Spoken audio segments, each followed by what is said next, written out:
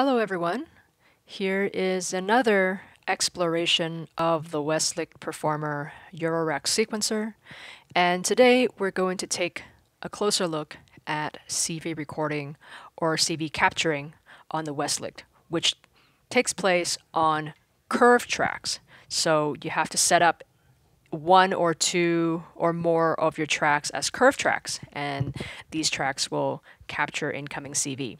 So first we're going to take a look at um, the project page, and the thing to note is that you have to assign an input to capture. So right now I've got immutable stages LFO going into CV3 input of the performer, and I've got that assigned.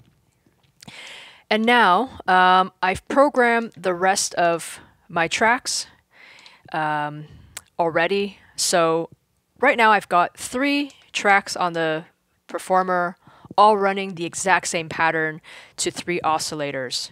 And this is what it sounds like. So if we go into the performance page and solo each one, this is oscillator 1 playing this pattern. This is oscillator 2 playing the exact same pattern tuned to with oscillator 1, um, basically an octave above the first one. And this is track 3 playing the exact same pattern on an oscillator that's tuned an octave below the first one. So altogether, three oscillators playing the identical pattern. So three identical patterns and then what we're going to do is we're going to capture some CV and then we're going to route these CV to control different things on each of these three tracks. And we're going to start to get them all out of phase with each other, which is going to be very cool. Next, we're going to take a look at the other tracks that I've set up to be curve tracks. So track 5 is a track I've set up as a four-step pattern and each step is running at a rate of one bar per step.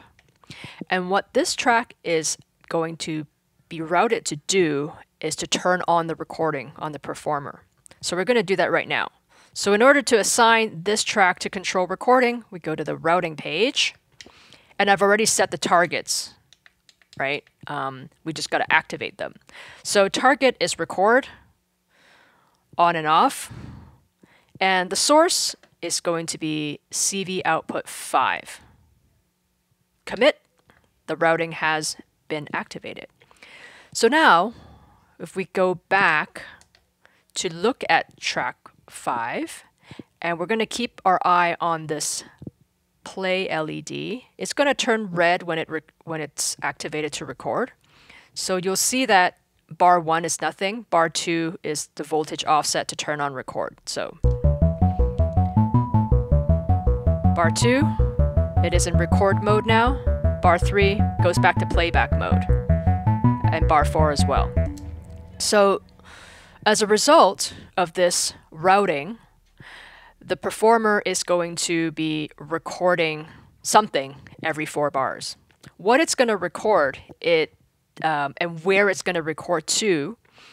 Well, what it's going to record is the the CV input, right? This LFO that's coming in on CV3 right now. Where it's going to record to is whatever track you've um, picked here. So right now, if we are looking at track 6, we'll play and watch bar 2. It's now capturing this LFO and then playing back, playing it back for three bars. Okay, that's pretty cool. If I go to track 7, I'm going to record another incoming uh, loop of CV. Bar 1, nothing. Bar 2. Cool. We'll just keep it running. Go to bar, uh, go to track 8. Wait for 4 bars. And now track eight's to start recording something. Great. So now I've got three tracks with three different looking curves. Cool. And that's how basically how CV uh, capturing works in this case, right? And I've set it up so that the performer itself is triggering the record function. So this is all done with the internal routing. Um, so now we're going to go back to routing because now we've got these curves to play with. We've got these curves to assign to things. So in going back to the routing page, uh, my next target I've set as the clock divisor. So I'm going to modulate the clock divider of track 1 with the output of track 6, CV out 6. Commit. So now when I play back, this curve is going to mess with the clock of this track. So here we go.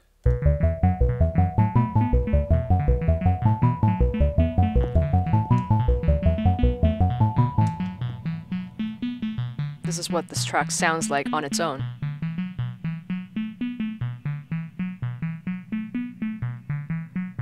And as long as I'm viewing this track, it's going to keep uh, recapturing incoming CV every four bars, which is fine for my purpose right now.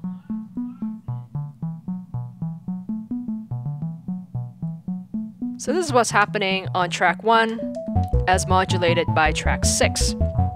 Cool. I'm going to go back to my routing page, go to the next target.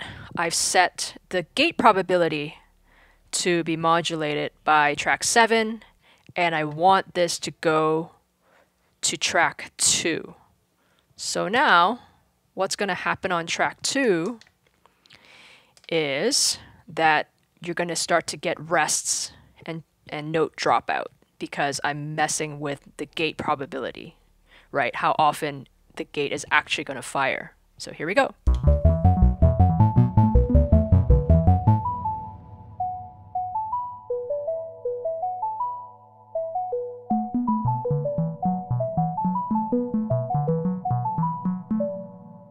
Oops. Great. Let's do one more routing. And that is the first step modulation. So I want track 8 to control the starting step of the pattern on track 3. So I assign track 3 as the target track. And the source of modulation is the CV output of track 8, right? And the target is the first step. So commit. If we go look at track 3, you're now going to see the starting step arrow jump all over the place because it's being modulated by this curve.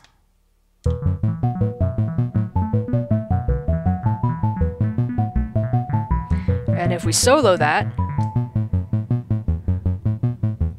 this pattern is starting to vary depending on the first step.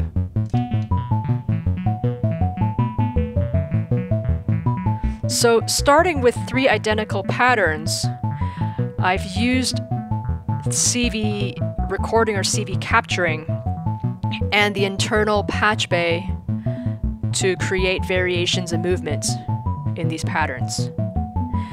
And while it's the performance doing this thing that I've set it up to do, right? Um, you know, we can be on track six and have track six keep updating its curve as it is doing now. And in the meantime, we can actually go back to any of these tracks and change other things on it, right? So for example, if I'm on track two, right now it's just running forward, but as it's playing, I can set it to go backwards to add even more variation. Or have it go ping pong. Or do a random walk. So it's now going doing a random walk sequence and its gate probability being uh, controlled by the curve on track 6. So this is my little demonstration patch of CV recording and a little bit more of the routing menu. Um, hope that helped illuminate the possibilities of the performer a little bit better. And um, in the previous video, I took you through the entire uh, list of targets, of possible targets, right? So what else can you modulate in the module? So in a way, the performer is a module where you can sequence the sequencer, right? It can it can sequence itself. You can use these curve tracks to change um, what pattern is playing on each track because each track can have up to 16 patterns. So I'm only using one pattern right now. I'm only using one pattern on this on each track and already with a little bit of internal routing, it's giving me all these variations. So hopefully it's um, it's been helpful and see you next time.